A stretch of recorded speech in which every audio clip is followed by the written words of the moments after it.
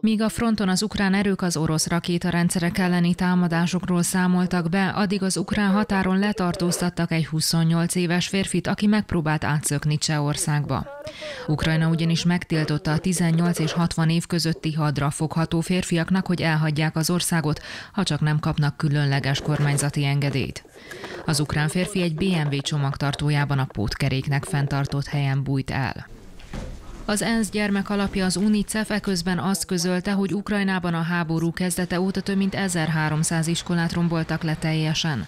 Az iskoláskorú gyermekeknek pedig csupán harmada tud majd iskolába járni szeptembertől. A kelet-ukrajnai Harkivban ezért a föld alatti metróállomásokon alakította ki osztálytermeket. Itt majd hetente kétszer három órán keresztül tudnak majd tanulni a gyerekek. Eközben Washington újabb katonai segélycsomagot jelentett be Ukrajna számára. A Fehérház szóvivője arról számolt be, hogy a csomagban további légvédelmi és tüzérségi fegyverek szerepelnek. Mesterházi Attilával beszélgetünk mai háborús rovatunkban. Jó reggelt kívánunk! Jó reggelt kívánok! Hát nem is tudom, hol kezdjük, Nagyon sok, minden történt. Van, igen. Egyre megmegújuló dróntámadásokkal zaklatják például az oroszokat az ukránok. Ezeknek mennyire lehet a jelentősége? Tényleg ez csak egy ilyen kis, kis piszkálódás, kis odaszurkálás, vagy lehet ennek stratégiai jelentőség és a háborút befolyásoló szerepe is? Hát talán ilyen szerepe nincsen, de, de van ennél az egy kicsit több a jelentőség, hogy ez azért azt üzeni az orosz vezetésnek, az orosz társadalomnak is, hogy Moszkva elérhető, úgymond az ukránok részére, és ez egyfajta nyugtalanságot biztos, hogy jelent az orosz fővárosban. Emellett azért meg kell említeni, hogy Kievet tegnap is komoly drón és rakétatámadás érte, tehát szinte minden éjszaka van valamilyen erős orosz támadás, tehát ott is egyszerűen nyomás alatt tartják a lakosságot, hiszen ilyenkor légriadó van, el kell menni az embereknek az óvóhelyre sok esetben. Tehát magyarul ez egy ilyen lélektani hadviselés is, hiszen alapvetően azért hál' Istennek a rakéták 95%-át leszedik a De technikailag hogy érhető el? Tehát, hogy ezt Ukrajnából indítják, és akkor azért egy elég nagy távot kell megtenniük. Az orosz légvédelem most hogyan viselkedett ebben hibásan, vagy, vagy nem vették őket észre, tehát mi történhetett, vagy ezeket belülről indították, és akkor ez egy belső és egyébként egy ukrán együttműködés lehetett most. Hát ezt ellen. szerintem egy jó ideig nem tudjuk meg, de alapvetően Oroszországon belülről indulnak ezek a drónok, amennyire én tudom. Tehát ilyen szempontból bizonyos értelemben ilyen szabotás akciók. Azért ennek egy komoly jelentősége van, mert mindenki olyan stabilnak gondolja a Putyin rendszert, hogy ellenzéknek semmi szerepe nem. Épp ezért csinálják, másrészt pedig persze ők is tesztelik a, az orosz légvédelemnek a, az erejét, képességét, hogyan működik, milyen, milyen gyengeségei vannak. Tehát valószínűleg van ennek harcászati oka is, nem csak egy ilyen lélektani hadviselést jelent.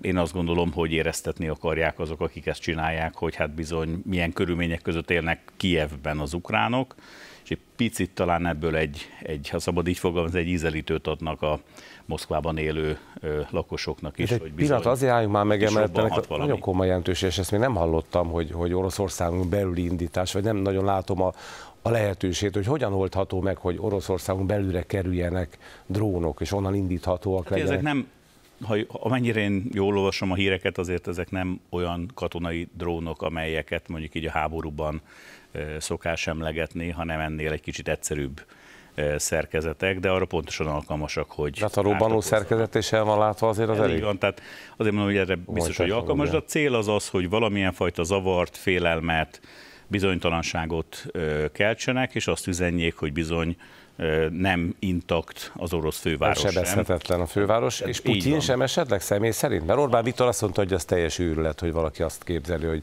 az oroszok majd maguk teszik el lábaló Putyint, akkor ezek szerint mégsem annyira lehetetlen hát, technikailag semmi. Ezt én sem gondolom, inkább azt gondolom, hogy Putyin teszi el lábalól azokat, akik ellenlábasai neki. Lát, látjuk ugye Prigozsint, hogy tulajdonképpen a pucs után, amit megszervezett nem sokkal, bele is halt ebbe a kezdeményezésbe. Én pont itt önöknél mondtam el talán ebből a székból azt, amikor megtörtént ez a pucs, hogy fél éven belül egészen biztosan nem Putyin valamilyen merényletet el fog követni.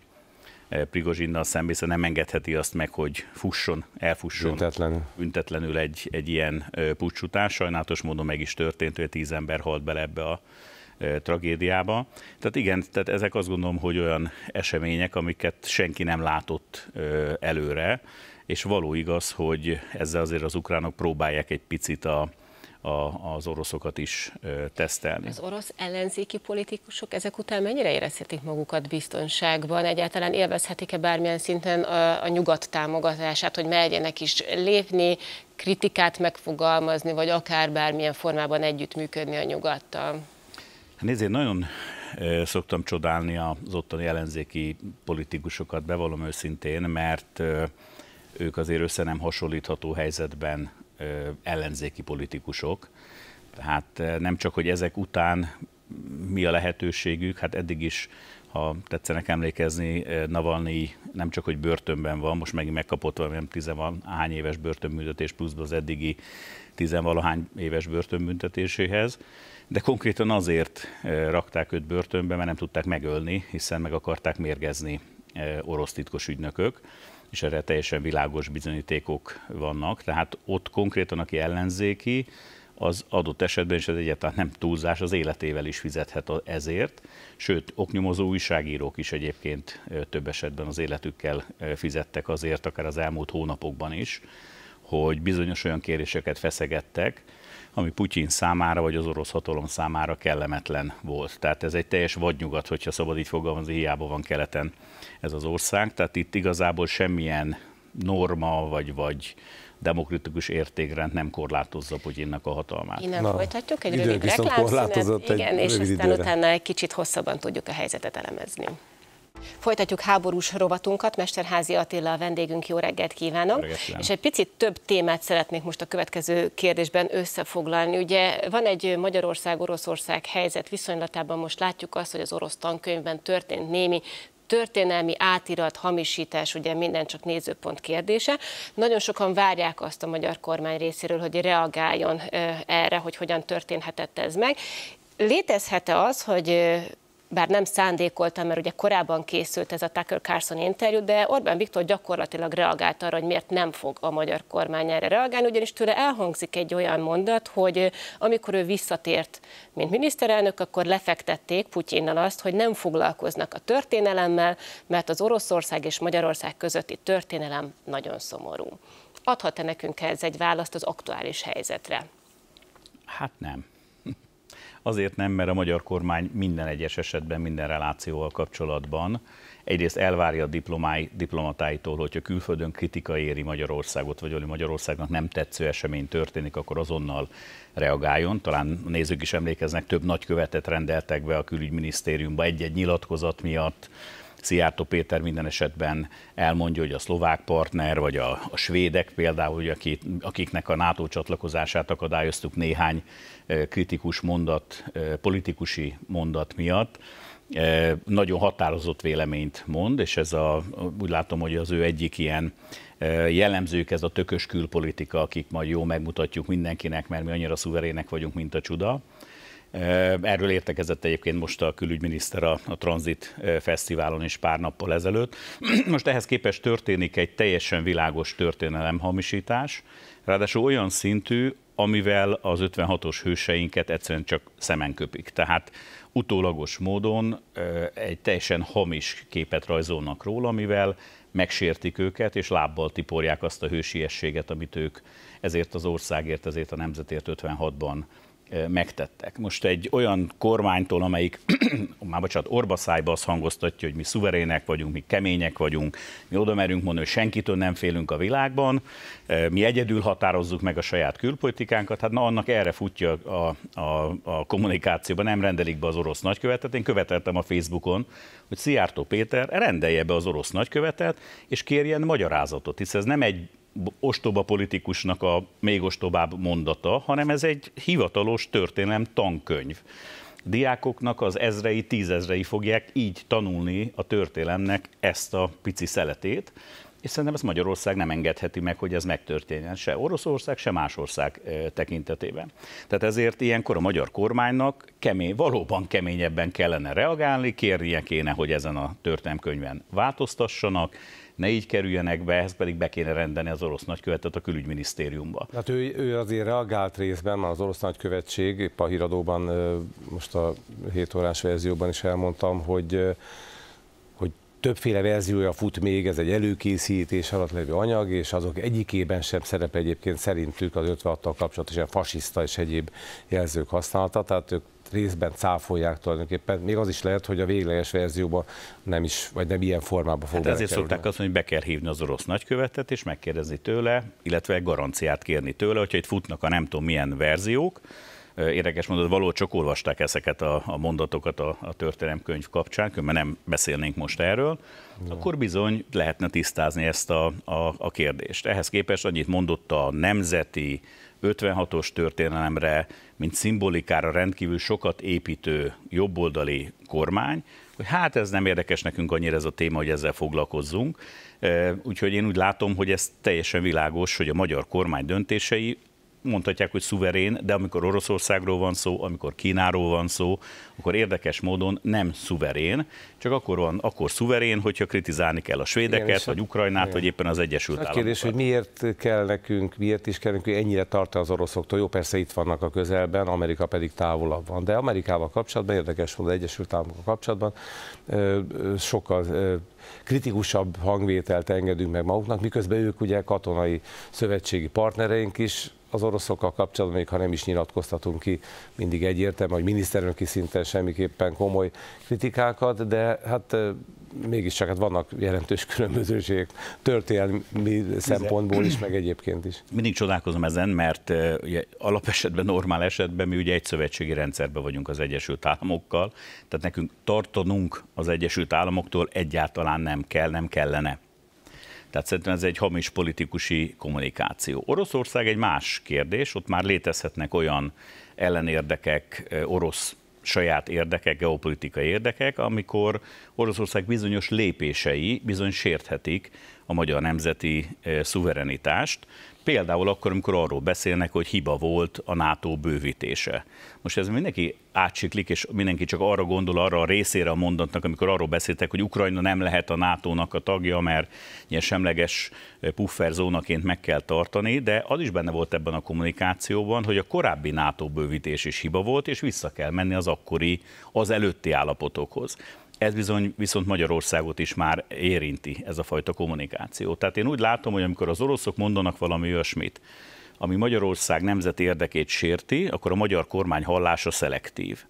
Amikor mások mondanak Magyarországgal kapcsolatban ennél mondjuk enyhébb kritikát, akkor pedig döngetik a mellüket, mint a gorilla az állatkertben. Tehát én ebből látszik, hogy ez a politika, ez egy populista, cinikus, gátlástalan populista politika, ami arról szól, hogy hogyan lehet a magyar embereket itthon félrevezetni, és látható módon megpróbálják ebbe Tucker carlson is bevonni, valószínűleg jó pénzt kapott azért, hogy eljött Magyarországra e, és beszélgetett a magyar miniszterelnöknek. Egyébként a hatása biztos megérte a pénzt, mert nagyon sokan megnézték ezt az interjút a, a Twitter e, csatornán, tehát hatalmas számokat értek el és biztos vannak önök, akik azért nézték meg, mert kíváncsiak arra, hogy ki ez a bajkeverő itt Magyarországon, meg olyan is, aki szimpatizál a miniszterelnök. Azért abban volt talán igazsága a miniszterelnöknek, hogy viszont ennek a háborúnak így ebben a formában, amit most már sokan nagyon várnak, hogy mikor lesz vége, nem lesz vége, vélhetően Putyin senki nem fogja lefejezni, eltávolítani onnan, tehát hogy ugye mik a megoldási javaslatok, erről sokan régóta vitatkoznak. Az Index legfrissebb cikkében egyébként ott van egy olyan szakmai álláspont, hogy, hogy egy nagyon-nagyon elhibázott stratégiát folytat a nyugat. Azt a kifejezést használják, hogy nem rendelkezik koherens Ukrajna stratégiával, és sok döntéshozónak az intellektusát is megkérdőjelezik. Ez azért már többször elhangzott itt nálunk is, hogy nem orosz fejjel gondolkoznak a döntéshozók, és nem arra próbálnak reagálni, ahogy ők vélhetően lépéseket fognak tenni, ami picit így mindenre utólag reagálnak egy kicsit. Lehetség, tehát hogy jónak hangzik ez a gondolkodás, hogy ezt egy picit jobban kellene szorgalmazni, hogy egy egység egységes stratégia hát, álljon fel? Nézem. Szóval mindig azon... Úgy érzem, most bekérdeztem a mozdulatából. Azon, azon meg lepődött, ugye, és ezt egyszerűen tényleg nehezen értem, hogy amikor a miniszterelnök azt mondja, hogy Oroszország ott kihagyja, és azt mondja, hogy az Egyesült Államok kezében van ennek a háborúnak a megoldása. És soha az életben nem teszi oda hozzá, hogy meg az oroszokéban. Hiszen ha Oroszország úgy dönt, hogy ő fogja magát, hátrafordulnak és hazamennek, akkor ez a háború 24 órán belül megoldódik. És igen, a háború úgy is megoldódhat, hogy nem adnak semmilyen támogatást Ukrajnának, nem adnak nekik fegyvereket, akkor is megoldódik, csak akkor úgy oldódik meg, hogy annak az országnak a szuverenitása és területi integritása elveszett, és a honvédő háborújába tényleg még több ember hal bele. Valóban így is megoldódhat ez a háború. A kérdés az, hogy melyik a morálisan helyes döntés, vagy melyik az, amelyik az ukránok számára mint területi integritásukért honvédő háborút folytató embereknek, melyik a jobb megoldás. Tehát ha más nem, akkor ezzel mindig mindenki gondolkodjon, hogy miért nem teszi hozzá Orbán Viktor soha az életbe, hogy ennek a háborúnak a megoldása Putyin kezébe van első helyen, mert ő az agresszor. Ő ment át egy másik ország területére, és lövöldözi halomra a katonáival a másik ország állampolgárait. A másik az, hogy teljesen világos, hogy ez a fajta kommunikáció, ez az oroszoknak kedvező kommunikáció. Tehát amikor arról beszélnek, hogy kikérik maguknak fideszes politikusok, hogy őket miért nevezik orosz barátnak, hát például azért, mert nem rendelik be az orosz nagyköveteted ilyen esetben, amikor 56-ról gyalázatos módon beszélnek orosz történelmi tankönyvek. Mindez csak egy verzió, valaki valamiért, valamilyen indítatásból ezt írta bele ebbe az orosz tankönyvbe. Ennél sokkal kisebb okokért is beráncigáltak más országok nagyköveteit. Hosszú időn keresztül akadályozzuk Svédország NATO tagságát. Erre hivatkozva, hogy milyen csúnya dolgokat mondanak ott a politikusok Magyarországról, mikor ez csak egy politikai vélemény egy másik országból. Tehát ezért én azt mondom, hogy ha más nem, akkor ez teljesen világos. Ez a két mondjuk apró eset, ami azt mutatja, hogy ez teljes világos, hogy Orbán Viktor egy orosz narratívát, egy orosz stratégiai pozíciót támogat folyamatosan a kommunikációjával, ami az amerikai alt-right szélső jobboldali politikusok számára kapóra jön, teljesen másokból kifolyólag, mert ők meg otthon Oroszország és Ukrajna háborújával kapcsolatban Biden elnököt támadják belpolitikai okokból, és ez a kettő most éppen találkozik. Igen nemet hadd kérjek, stratégiát lát ön a nyugat részéről? Persze, ebben? stratégia van, most az, hogy ez mennyire hatékony, meg mennyire eh, hosszú távon tartható, az mindig egy kérdés, de a stratégiát mindig finoman kell hangolni, de ezt a kérdést ugye fordítva is föl lehet tenni és hogy az oroszoknak a stratégiája mennyire jól működik, mert mindig úgy érezzük, mint az oroszok lennének a zsedik, akik mindig mindent fantasztikusan megoldanak, és a hülye nyugat ostoba politikusokkal meg nem tud megfelelőképpen reagálni az oroszok fantasztikus stratégiai lépéseire. Hát én azt gondolom, bocsánatot kérek, hogy, hogy azért itt ennél egyelőbb mércével kell mérni, és igenis van Amerikának is, és az, és az európai szövetségeseknek is stratégiája. Mester Házi Attila, köszönjük szépen. Köszönjük, hogy itt volt.